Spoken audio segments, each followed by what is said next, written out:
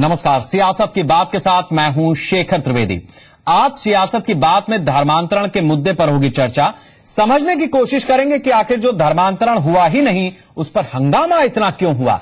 साथ ही बात होगी यूपी के हैदराबाद में, हैदराबाद के सांसद असदुद्दीन ओवैसी की पार्टी के एंट्री की। ओवैसी की पार्टी का यूपी में आने का मतलब क्या है? यूपी की सियासत पे इसका कितना असर पड़ेगा? इसकी पड़ताल होगी। शुरू करते हैं सियासत की बात।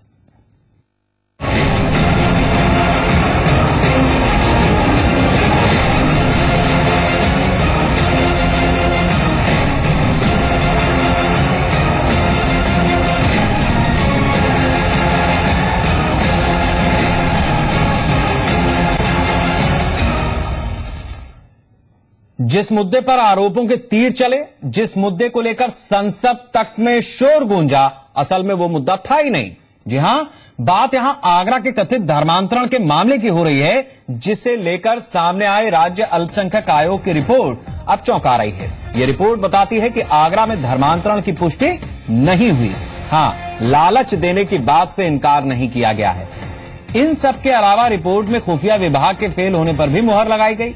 जाँच रिपोर्ट में खुफिया विभाग के अफसरों पर कार्रवाई की सिफारिश और कुछ संगठनों पर नज़र रखने की सिफारिश की गई है ताकि कोई लालच में न फंसे। यूपी अल्पसंख्यक आयोग के अध्यक्ष शकील अहमद ने रिपोर्ट पेश करते हुए आरोप लगाया कि बीजेपी यूपी में माहौल खराब करने की कोशिश में लगी।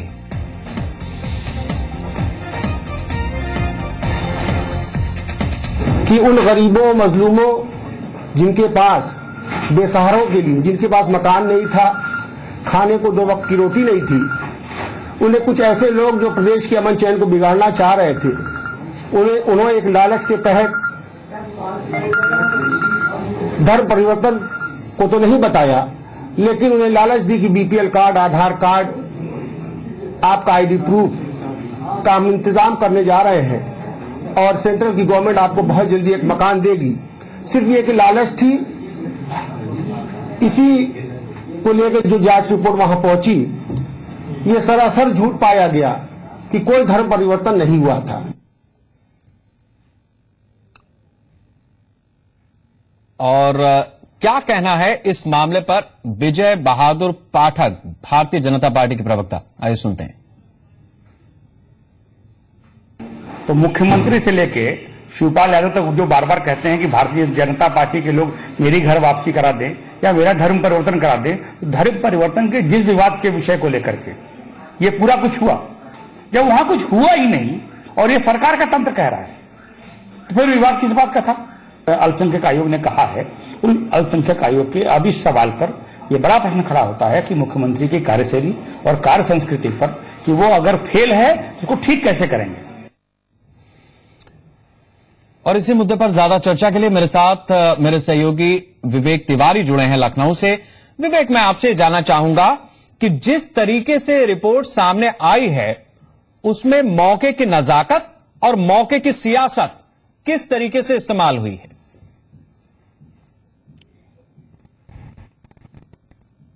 देखिए, नजाकत की बात तो शेखर ये है कि जब ये पूरा विषय उठा था और लोकसभा में इस पर चर्चा हो रही थी, उसी वक्त मुलायम सिंह यादव ने लोकसभा के अंदर खड़े होकर यह कह दिया था कि जिस बात पर आप लोग इतना शोरगुल कर रहे हैं असल में दरअसल वहाँ कुछ हुआ ही नहीं है। वहीं से ये लाइन तय हो गई थी कि आ, अगर कोई भी जाँच एजेंसी चाहे वो पुलिस की हो चाहे वो सरकारी एजेंसी हो या गैर सरकारी एजेंसी हो चाहे वो समाजवादी जो भी समाजवादी पार्टी से जुड़े हुई एजेंसीज हैं उनकी लाइन क्या होगी ये मुलायम सिंह यादव ने उसी वक्त संसद में तय कर दिया था लोकसभा में तय कर दिया था।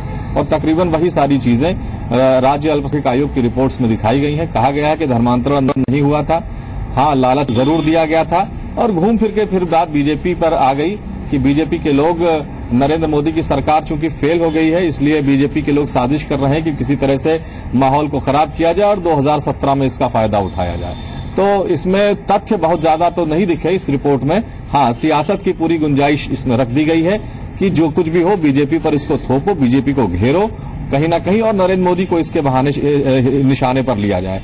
ज़्यादातर वक्त जो राज्य अल्पसंख्यक आयोग के चेयरमैन थे, उनका इसी में बीता कि किस तरह वो बीजेपी पर हमला करें।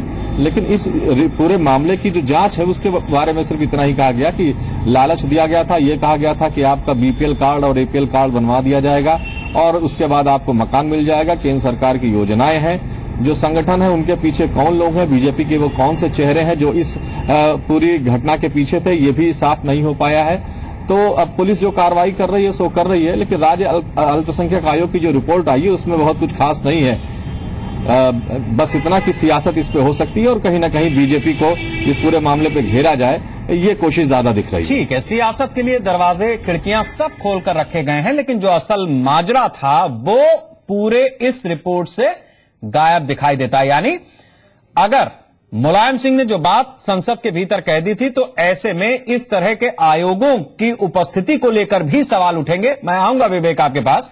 वेदनगर में रहने वाले इन लोगों की नागरिकता को लेकर अभी भी पुलिस कुछ कहने की स्थिति में नहीं है। खुद सुनिए आगरा के एसएसपी राजेश मोदक का बयान।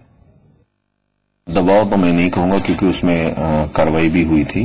और ये जो आप आयोग की जो रिपोर्ट के बारे में बात कर रहे हैं तो एग्जैक्टली मेरे पास अभी तक कोई लिखित रिपोर्ट उसमें आई नहीं है। और अगर उसमें आती है तो उसमें फिर उसके परिणाम को देखा जाएगा कि क्या रीजन रहा है। और उसपे अगर ऐसी रिपोर्ट है तो उस पर विचार करने की ज़रूरत है, मंथन करने की ज़रूरत है। वहीं आगरा के वेदनगर में रह रहे लोगों का सच क्या है? इससे लेकर जानकारी दे रहे हैं जी मीडिया संवाददाता विवेक पाठक। आगरा में वेदनगर में हुए धर्म परिवर्तन के मामले में कई लोगों ने और राजनीतिक पार्टियों ने, खासतौर से इसमें रोटियाँ सेकी, इसको मुद्दा बनाने की कोशिश की और कहा गया कि मीडिया ने भी इसको खूब अच्छी तरह से खेला। लेकिन राज्य अल्पसंख्यक आयोग की जो रिपोर्ट जो पेश होने जा रही है, इसमें सूत्रों के अगर माने तो कहीं ना कहीं इसमें यह तो माना गया है कि इसमें धर्म परिवर्तन नहीं था। लेकिन लोकल इंटेलिजेंस का जो फेलियर की बात आई है तो उसमें बहुत बड़ी लापरवाही लोकल इंटेलिजेंस की इस रिपोर्ट के माध्यम से पेश की जा रही है। ऐसे में एक और बड़ा सवाल खड़ा होता है कि वेदनगर के जो अंदर जो लोग रह रहे हैं, उन लोगों की जो मूल निवास प्रमाण पत्र की बात हो रही थी, वहाँ पर बताया गया था कि यूपी पुलिस की तरफ़ से एक कलकत्ता एक टीम भेजी गई थी, जिसमें अभी तक, इतना समय बीतने के बावजूद भी अभी तक रिपोर्ट पेश नहीं की जा सकी है। ऐसे में ये भी माना जा रहा है कि जो अनजान लोग, चूँकि उनके ऊपर जो बात हो रही थी कि ये लोग बांग्लादेशी हो सकते हैं, और हमारे खुद के जी मीडिया के कैमरे के सामने भी कई लोगों ने वहाँ वेदनगर के जो बस्ती के लोग है, रहते हैं, उन्होंने ये भी माना कि वो उनके पिता और उनके जो वो खुद बचपन में बांग्लादेश से ही जो हिंदुस्तान आए थे। लेकिन अब जो रिपोर्ट राज्य अल्पसंख्यक आयोग जो भेज रहा है, उससे कई सारे अहम सवाल खड़े होते हैं कि आखिरकार बांग्लादेशी मुद्दे पर यूपी पुलिस की खामोशी क्यों रही? साथ ही साथ, अगर जो लोग इस पर रोटियाँ सेक रहे थे और जो लोग उनको अपना, अपने आप को खुद उन वेदनगर निवासियों का हितैषी साबित करने में लगे हुए थे, आखिर वो लोग अब कैमरे के सामने बात करने को तैयार क्यों नहीं है? विवेक पाठक, जी मीडिया, आगरा। आगरा में हुए कथित धर्म परिवर्तन के मामले को लेकर आए राज्य अल्पसंख्यक आयोग की रिपोर्ट के बाद कई सवाल खड़े हो रहे हैं। सवाल बड़ा ये कि रिपोर्ट के ज़रिए सारा ठीकरा खुफिया विभाग पर फोड़ने की तैयारी है। अगर नहीं तो फिर नागरिकता को लेकर पुलिस रिपोर्ट को सामने क्यों नहीं लाया जा रहा? सवाल ये भी उठता है कि यूपी की हदों में रहने वालों, वाले लोगों को लेकर क्या पूरी तरह से जाँच पड़ताल की गई है? आखिर कैसे ये लोग सियासत का मोहरा बन गए प्रशासन और पुलिस क्या कर रहा था? क्या राज्य अल्पसंख्यक आयोग ने अपनी जाँच में इन लोगों की भूमिका, राष्ट्रीयता और 8 दिसंबर को दिए गए उनके बयानों की भी पड़ताल की है, या फिर सीधे सीधे सरकार का चेहरा बचाने की कोशिश हुई है?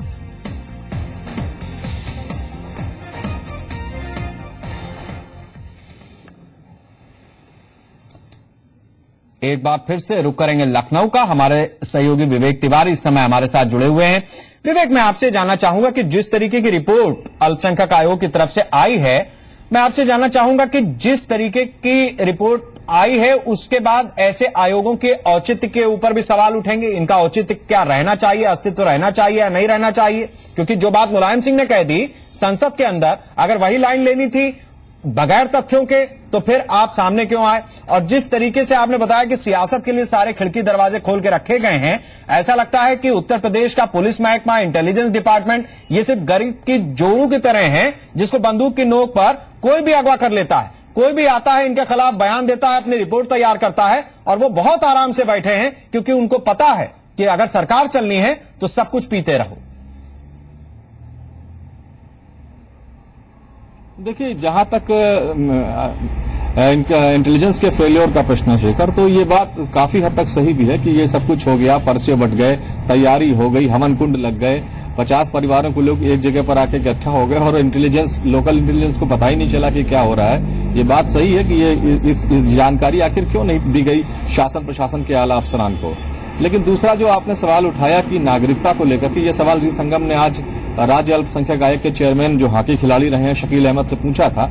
तो उन्होंने कहा कि ये हमारा मसला नहीं है, इस बिंदु पर हम जाँच नहीं कर रहे थे, ये केंद्र का मसला है और उनके पास तमाम तरह के कार्ड हैं। अब वो लोग अगर बांग्लादेश के रहने वाले हैं तो यहाँ उनके कार्ड्स कैसे बन गए, आई कार्ड कैसे बन गए, मतदाता पहचान पत्र कैसे बन गए इसकी भी जाँच होनी चाहिए, अगर ये बात सही है कि वो बांग्लादेशी हैं। एक महत्वपूर्ण बात जो उठाई गई, वो उसका ज़िक्र करना ज़रूरी है कि रिपोर्ट की संस्तुति में यह कहा गया है कि जो गरीब तबके के लोग हैं, वो आसानी से लालच में आ जाते हैं, झांसे में आ जाते हैं तो बेहतर होगा कि उनके लिए रोज़गार मुहैया कराया जाए, उनको इस लायक बनाया जाए कि इस तरह के लालच में वो ना फंसे और धर्म के, धर्मांतरण करने के लिए उनको पैसा दिया जाए और उस लालच में वो फंस जाए। लेकिन सवाल ये है कि ये काम करेगा कौन? गरीब तबके के जो मुसलमान हैं, उनको तरक्की पर की पर ले कौन जाएगा? उनको बेरोजगार से रोज़गार कौन देगा? उनकी स्थितियों को ठीक कौन करेगा? ये काम किसका है? इस बारे में कुछ नहीं कहा गया है। निश्चित रूप से यह राज्य सरकार का काम है कि अगर इस तरह के लोग हैं जिनके अंदेशा है कि वो लालच में पढ़ करके अपना धर्म परिवर्तित कर सकते हैं या इनको गुमराह किया जा सकता है तो उनको इस लायक बनाया जाना चाहिए। यही बड़ा सवाल है जो इस रिपोर्ट से निकल करके आ रहा है, लेकिन इसकी ज़िम्मेदारी कौन लेगा? अगर गरीब तबके के लोग हैं तो उनकी बेहतरी के लिए काम कैसे किया जाएगा? अल्पसंख्यक आयोग ने इस पर कुछ नहीं कहा। यही सबसे बड़ा सवाल है, और शायद ये वजह भी है कि किसी भी गरीब तबके के लोग हों, किसी भी मज़हब के हों, ये बात सही है कि जो बहुत गरीब होते हैं वो इस तरह के लालच में ज़रूर आ जाते हैं। ये केवल हिंदू, मुसलमान या किसी एक मज़हब के लोगों के बारे में नहीं कहा जा सकता है।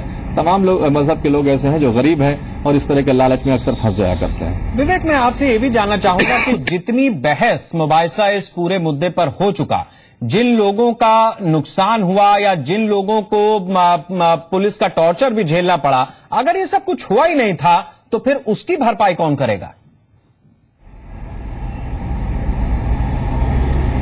देखिए, हुआ की बात जहाँ तक है तो ये, इतना तो रिपोर्ट में कहा गया है कि लालच दिया गया था कि आपको मकान दे देंगे, ऐसा कर देंगे, वैसा कर देंगे, और इसी बहाने उनको मंडप में लाया गया।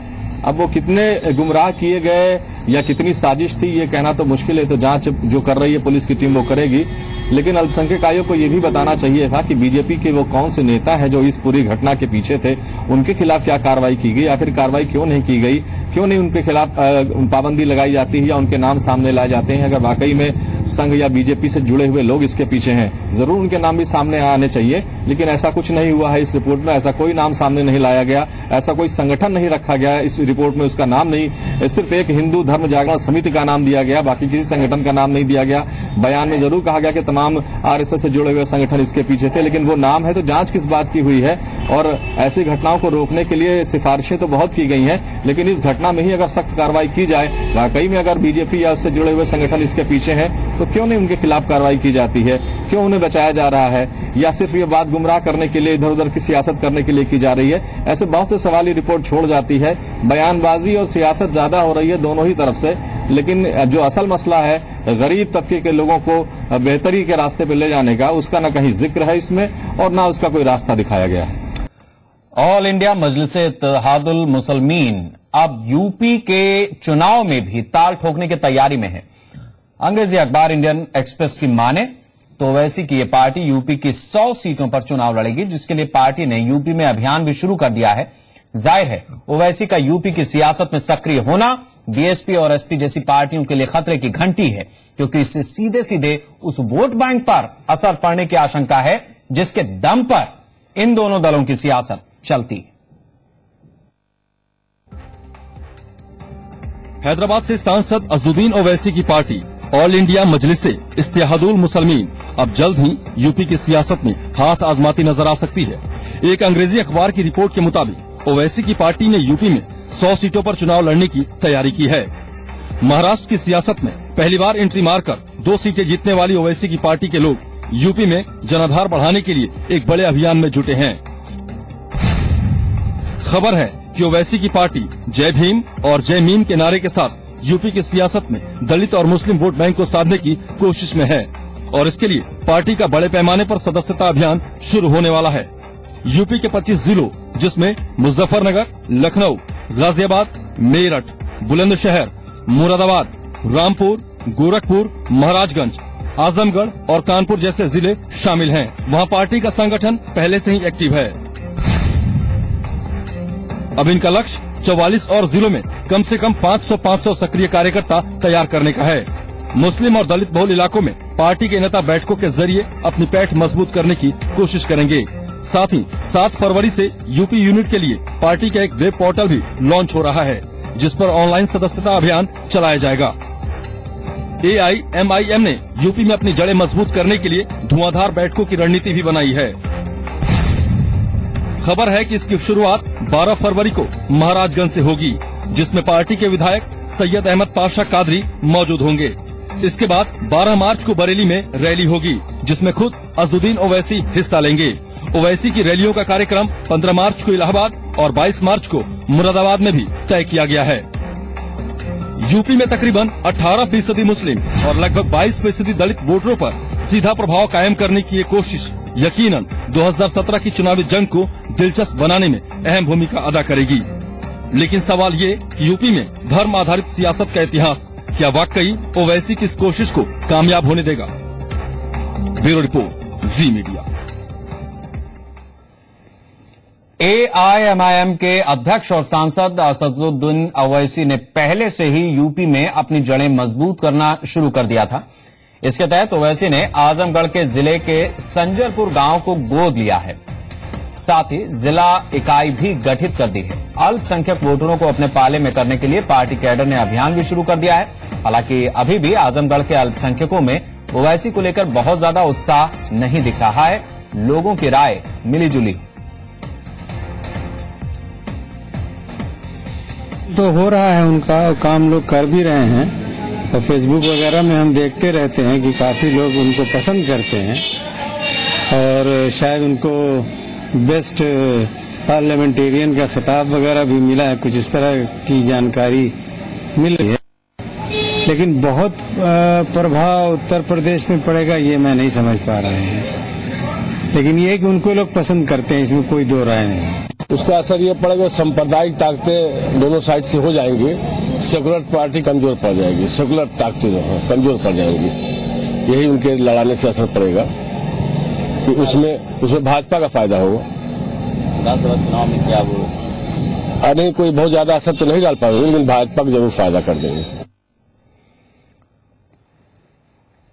ओवैसी की पहचान विवादित बयान देने वाले नेता के तौर पर ही ज़्यादा रही है जिसके चलते वो भगवा ब्रिगेड के लगातार निशाने पर भी रहे हैं। ज़ाहिर है यूपी में ओवैसी के आने से धार्मिक ध्रुवीकरण की सियासत और तेज होगी जिसे मुस्लिम धर्मगुरु भी वाजिब नहीं मानते। सुनिए मुस्लिम धर्मगुरु खालिद रशीद फिरंगी महली का ये बयान। बुनियादी तौर पर अ, किसी भी एक पर्टिकुलर रिलीजन को लेकर के पॉलिटिक्स जो है वो एक हेल्दी ट्रेंड नहीं रहा है। और यूपी में भी इस किस्म की पॉलिटिक्स को आम तौर पर आवाम पसंद नहीं करती है।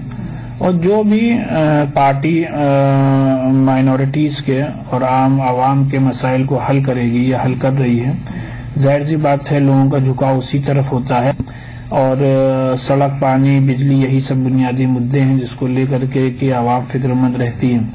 इस वजह से हम समझते हैं कि मज़हब की बुनियाद पर सियासत जो है एक सेकुलर हिंदुस्तान में नहीं होनी चाहिए।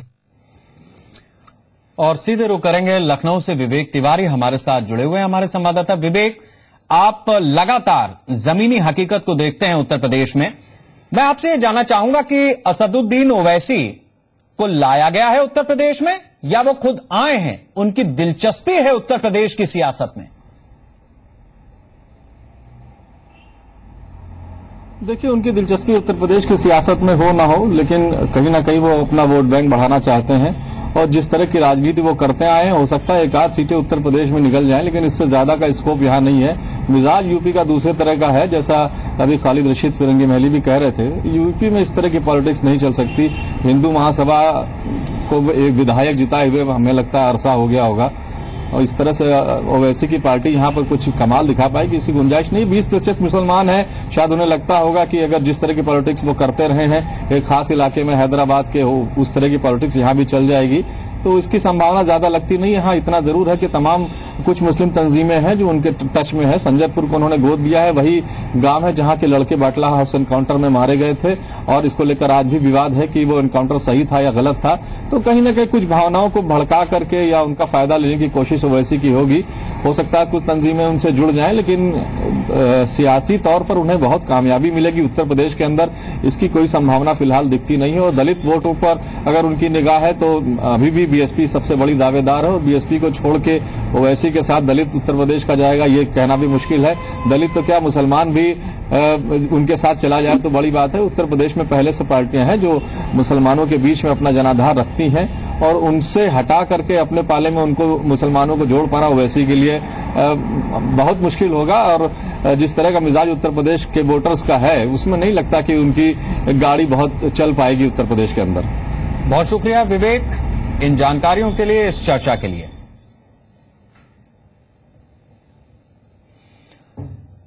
तो जिस तरह से ओवैसी अपनी उम्मीद के साथ उत्तर प्रदेश में दाखिल हो रहे हैं, दरअसल उत्तर प्रदेश का मिजाज पढ़ लिया होता तो बेहतर होता, वरना जनता 2017 में अपना फैसला सुनाएगी, ये तय है। इस बुलेटिन में इतना ही, नमस्कार।